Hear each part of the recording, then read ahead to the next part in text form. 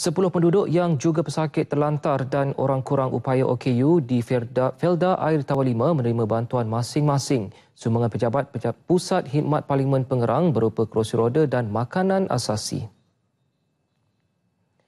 Pemberian sempena lawatan rasmi ahli parlimennya Datuk Seri Azalina Osman dihargai penerima terutamanya golongan OKU.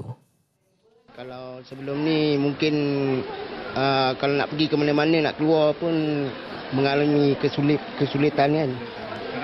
Uh, sekarang ni agak senang sikit lah. Uh. Saya boleh berjalan menggunakan tongkat walking frame. Oh, uh, tapi perlu bantuan kursi roda jugalah.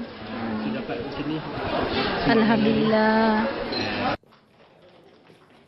Sumbangan merupakan sebahagian daripada RM150,000 peruntukan yang disediakan Parlimen Pengerang bagi membantu golongan memerlukan.